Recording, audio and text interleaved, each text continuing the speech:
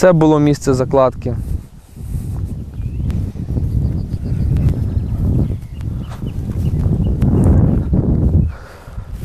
А також можемо бачити, то, що тут була закладка і зразу пакетик, в якому знаходилися наркотичні речовини.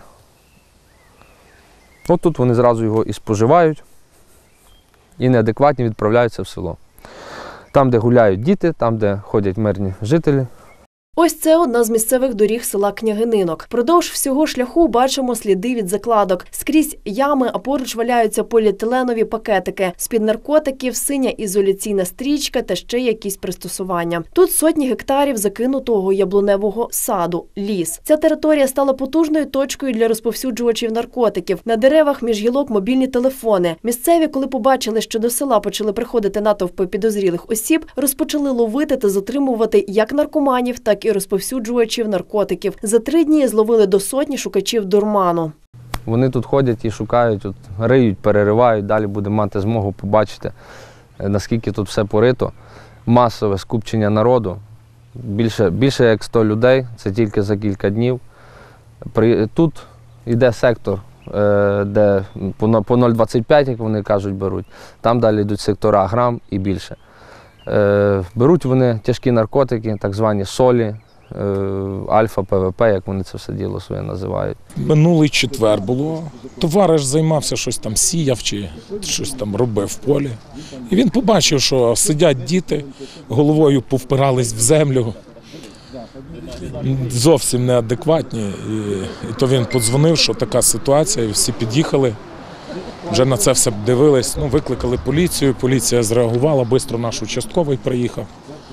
Ну, але той, хто був з ними, він е, відповідно сказав, що в нього немає нічого, а поліція оглядати його не може. Тільки треба е, там якийсь дозвіл, суд там щось має дозволити, щоб обшукати. Фермер помітив кучу людей, дітей, підлітки ходять, е, йдуть туди нормальні, а назад йдуть неадекватні. Того в день по 100 чоловік в день йдуть, того і місцеві жителі помітили і Купають, збили, і збили на сполох. І перекупали весь сад, повністю весь сад перекупали, і того йдуть назад неадекватні повністю. І того зрозуміло, що місцеві пристають до дітей, пристають до людей. Тобто це така речовина, ми вже не читались про цю речовину сіль, вона дуже, дуже психотропна, дуже, ну, люди поводяться неадекватно. І це дуже страшно. Це дуже страшна річ. Е, Привикання з першого другого разу. Як ми читаємо з цією солью, ну в нас свої діти є, і нас, в нас якби хочеться спокою, щоб діти могли виїхати на велосипедах і в центр е, е, нашого княганинка, там і де ж десь якийсь сад можливо виїхати, на якісь пікніки ми можемо виїхати. А там в тих садах ходять неадекватні люди. Вони ходять і з ножами, ходять з всякими там приборами копательними. Вчора у Княгининку відбулися збори громади, на які приїхали місцеві депутати та поліція. На зборах обговорювали проблему. Проте уже ввечері місцеві люди зловили нових закладчиків. Як розповідають місцеві, у розповсюджувачів наркотиків є рації, по яких вони спілкуються. Ввечері мешканці села Княгининок затримали кількох осіб, а зокрема заблокували два автомобілі з невідомими людьми на вулиці Садовій. На місце викликали поліцію. Зазначимо, що біля автівок зібралося близько 200 селян. Люди не випускали автомобілів. На місце події приїхала поліція та швидка. Обурені громадяни надіялися, що правоохоронці з'ясують, що це за особи, та оглянуть машини, бо ж впевнені в автомобілях наркотики. Проте замість того, аби проводити слідчі дії, поліція зробила все можливе, аби визволити автівки з блокади. Ленти, ленти, те, що запа- запаяні ленти, просто всипано лентами. То я так собі думаю, що там кілограм 100 вже викупали, а ще кілограм 100 там чи зараз закопано. Е, Була погоня за однією з тих машин, і машині вдалося втекти аж в промені. Опинилися. Другу машину вдалося перекрити, і е, пів села фактично зібралося людей, щоб не допустити, щоб вона втекла. Викликали сюди поліцію, викликали обласний відділ по боротьбі з наркозлочинністю, викликали швидку на будь-який випадок небезпеки. Приїхала поліція і відпустили ту, ту особу. Люди розповідають, автомобілі відпустили, коли до княгининку приїхав начальник СБУ. Виявляється, що це особа причетна до СБУ нашої області. Тобто той, хто роз... Нашої СБУ. А тобто він що тут робив? Е, Курував цим? Він навіть не вийшов з автомобіля. Наші припущення, що він був один з тих, хто привезли підклади. закладки? Закладки. Ви думаєте, що Це одне з наших припущень. Громадяни шоковані таким розвитком ситуації, адже саме поліція та СБУ вивезла ймовірних закладчиків наркотиків з можливого місця злочину. Хоча по всіх правилах мала б провести слідчі дії відносно затриманих громадян. Також жителі села бояться, що проблеми будуть не у розповсюджувачів наркотичних речовин, а у активістів, які їх ловлять. З власних джерел нам відомо, що правоохоронці наразі нікого не затримали. Анна Романчук, Наталка Поліщук, Неля Прокопчук для новин на часі. 14 гектарів і 68 сотих. Саме стільки землі продали під самісіньким Луцьком. Земля державна і у приватні руки вона перейшла завдяки розпорядженню голови Волинської обласної державної адміністрації Юрія Погуляйка. Нагадаємо, за останні кілька місяців Юрій Погуляйко видав цілий ряд розпоряджень по землі, але в основному землю надавали в оренду, щоправда, на 49 років. А тут продали з кінцями та й по ціні, яка викличе подив у будь-кого. Мова йде про землю у Прилуцьку. Ця земля мала перейти до Луцької громади, але як виявилося, її продали. Ціна питання 6 мільйонів гривень за майже 15 гектарів землі. У Прилуцькому старостинському окрузі про те, що у них під носом продали такий кусень території, ні слухом, ні духом. Напевно, це є земля державної власності. До, хоча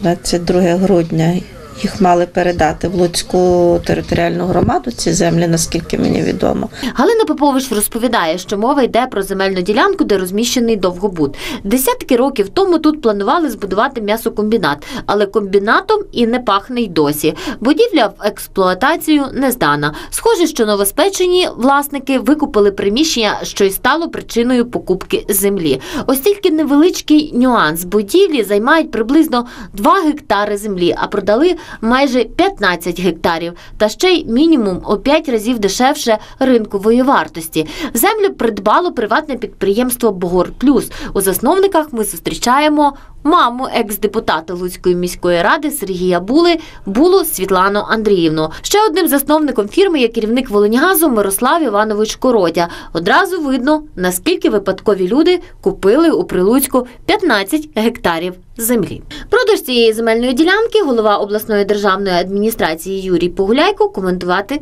відмовився. 14 гектарів під Давайте 14 гектарів це вже давайте запит, ми вам все відповімо. З юристи вам напишуть. Почули? підписували про землю. Розпорядження? Так. Ну, якщо там стоїть мої підписи, я я. Скажіть, будь ласка, а ну як так можна віддати 14 гектарів землі просто так, без аукціону, продати за такою дешевою ціною?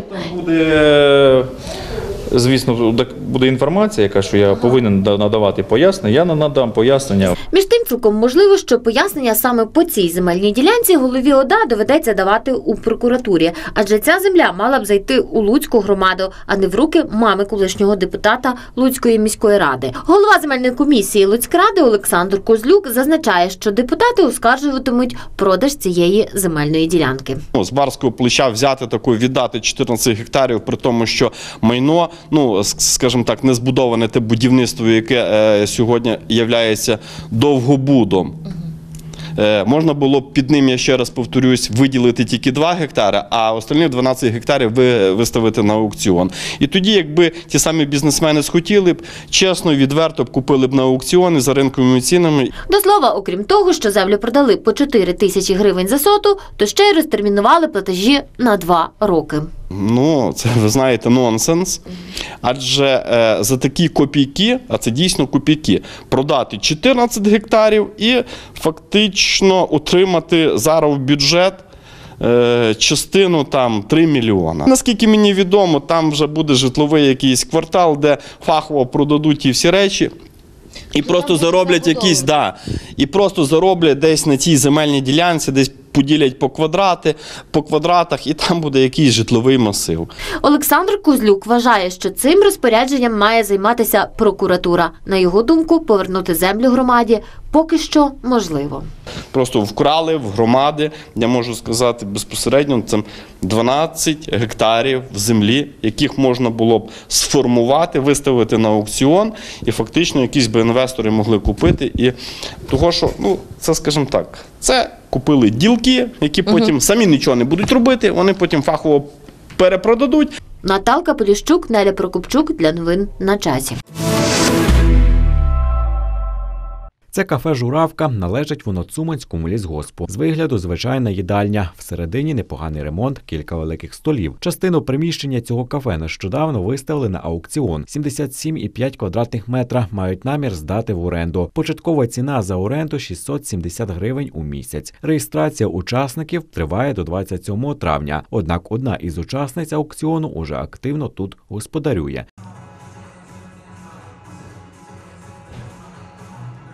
Це Валентина Касарда, колишня депутатка Волинської обласної ради та екс-очільниця санаторію матері і дитини пролісок. Наразі жінка є підприємцем, надає послуги із мобільного харчування. Що робить жінка у кафе і чи бере участь у аукціоні, нам запитати одразу не вдалося. Як тільки вона побачила нашу знімальну групу, одразу накивала п'ятами. Все таки не погляти, що ви покликали Валентину Іванівну. Ми її чули, що Була вона? Так, в приміщенні. Вона в приміщенні. Покличте, будь ласка. Можливо, її немає. Немає?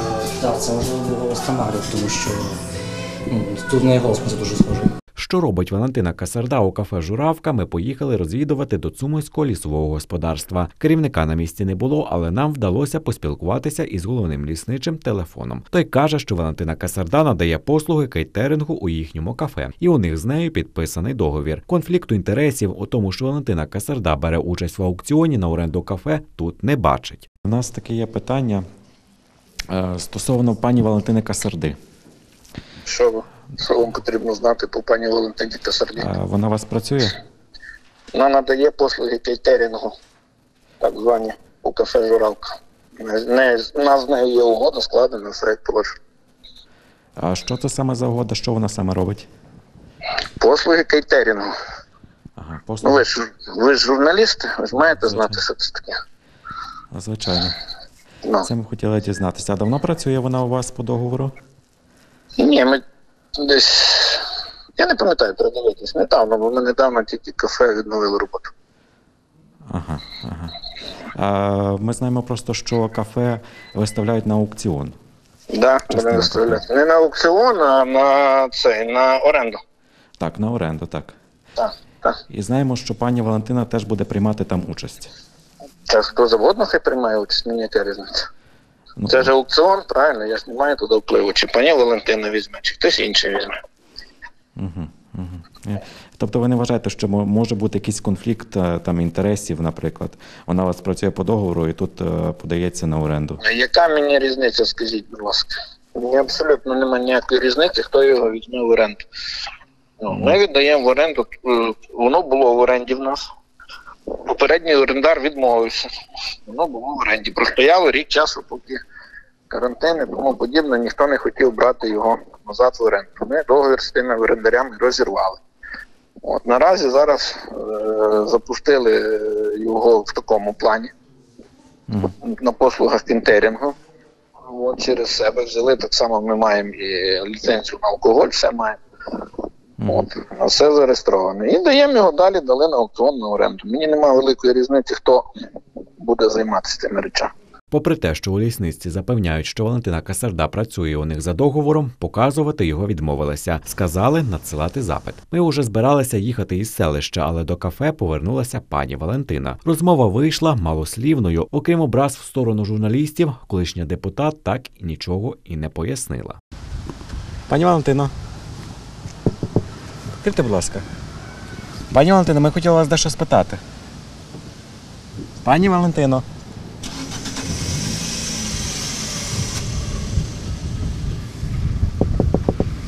Пані Валентино.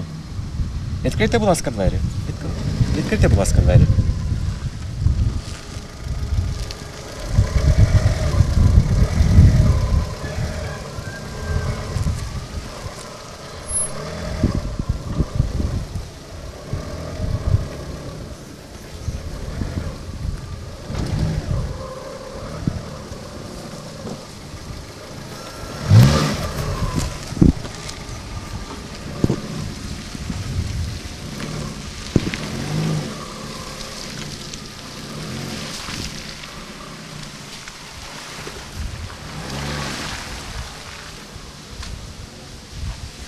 День, пані Валентина. Не Можна? хочу А спілкуватися. чому не з вами. хочете? Бо я Дивіться, не... я хотів вам задати декілька я питань. не хочу, я ненавиджу аверс. бо ви Дивіться, ми брехливі, хотіли запитати бо ви за, дог- за брехливі, договір. Бо ви За договір, який ви працюєте е, по цьому. паскудні ви діти, понімаєте? Дивіться, І скажіть, будь ласка, а- а ви працюєте в тому кафе? Жура... Журавлики чи як і називається? Пані Валентина, ну не тікайте від нас. Отстаньте від мене. Отстаньте, бо зараз за... завалю морду. Що ви зробите? Завалю морду. На цьому розмова закінчилася. Виникає багато питань як до пані Валентини, так і лісового господарства. Що робить колишня у кафе? Чи працює вона там офіційно? Яким чином наразі працює кафе та чи сплачує вона податки? Бо коли ми там пообідали і попросили чек, то нам дали ось такий папірець. А касовий апарат, хоч і був, але нас ним не розрахували. Окрім того, цікавою є і доля аукціону на оренду кафе. Бо ж судячи з того, як там нині хазяйнує Валентина Касарда, складається враження, що доля аукціону вже вирішена, і зрозуміло у чию користь. Запитали ми про ситуацію із кафе та аукціоном і в головного лісничого Волині Олександра Квартирка. Той на всі питання мав одну відповідь: нічого не знаю, не в курсі. Запитайте в директора. Ми щойно були у Цуманському лісовому господарстві е, по такій справі е, по пані Валентині Касарді. Ми хотіли би дізнатися, яким е, чином вона там працює. Тому що була така інформація, що вона там керує державним кафе, а документів нам ніяких не надали, що вона там працює. Чи по договору. Директора зверніться, я не в курсі. Ви не знаєте щодо цієї ситуації нічого? Ні, директора запитайте. Угу. І щодо е, аукціону на той е, на те кафе, теж нічого не знаєте. Ну, на оренду. Ні, не знаю. Аукціон для оренди приміщення закладу відбудеться 28 травня. Як раніше зазначив директор лісництва, у ньому може взяти участь будь-хто. Звичайно, результати аукціону ми побачимо на платформі Прозоро. А от аби отримати конкретні відповіді на питання від лісового господарства, ми надіслали офіційний запит до лісництва. Відповідь чекаємо. Владислав Корнелюк, Дмитро Кудик для новин на часі.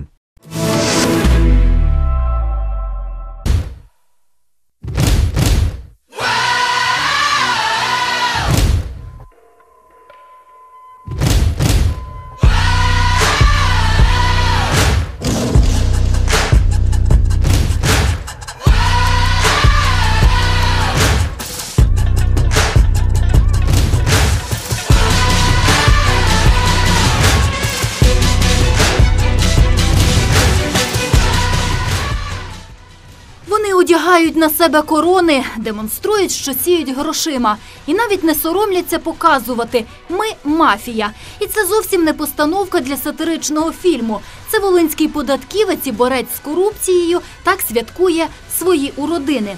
Знайомтеся, держслужбовець Тарас Цибулін і його дружина Наталія Цибуліна. Такого прізвища Цибуліна я не бачила в свій час. Він до нас ніколи не приїжджав. Ніколи його в хаті в нас не було. Ніколи. Я не знаю цієї людини. Просто не знаю.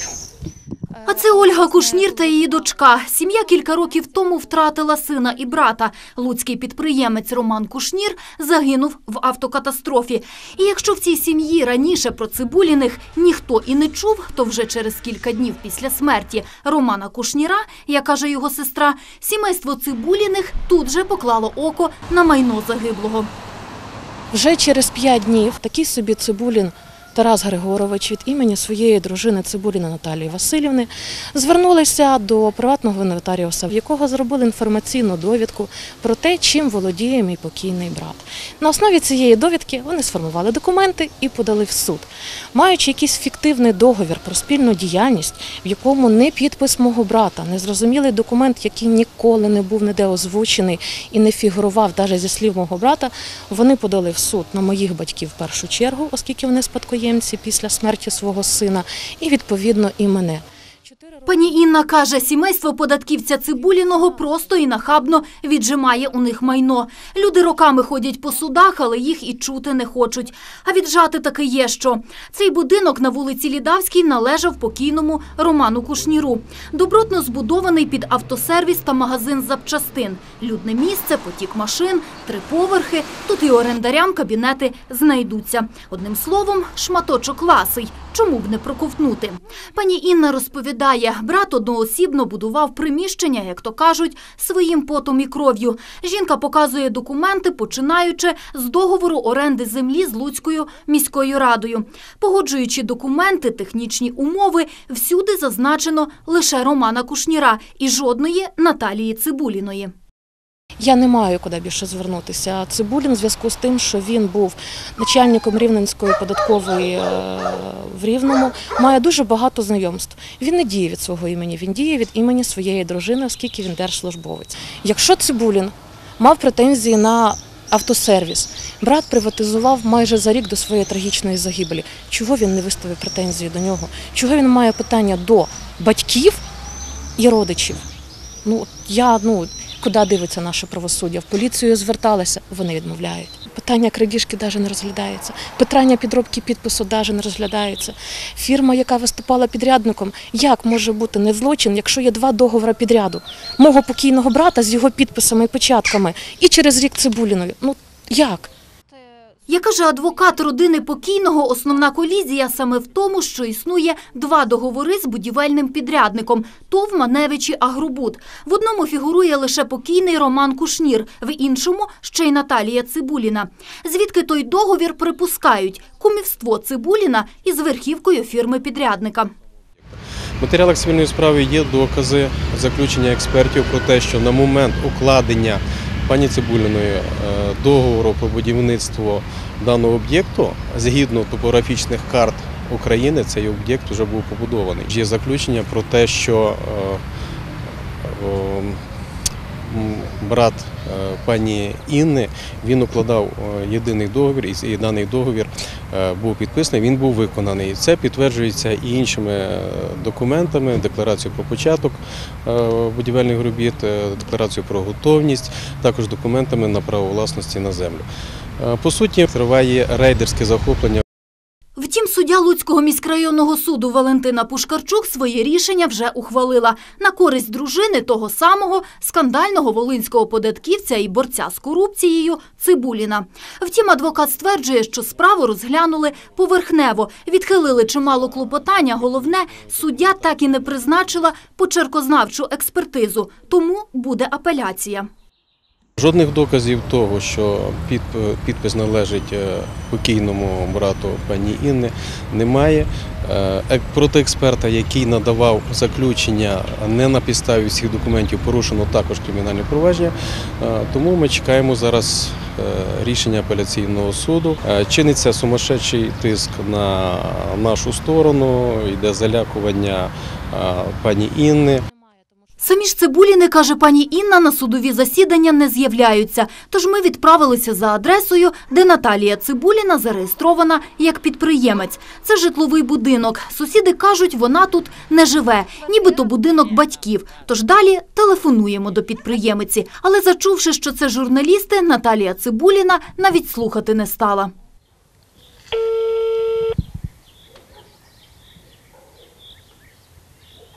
Алло, Добрий день.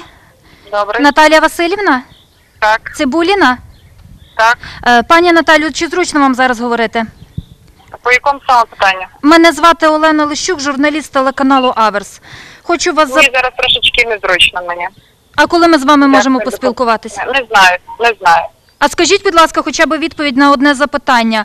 Ні, я зараз не можу розмовляти. Так послухайте, хоча б про що я запитати хочу. Чому така дивна реакція, незрозуміло, але ми і далі готові надати Наталії Цибуліній можливість висловити свою позицію. Олена Лищук, Мирослав Хотимчук для новин на часі.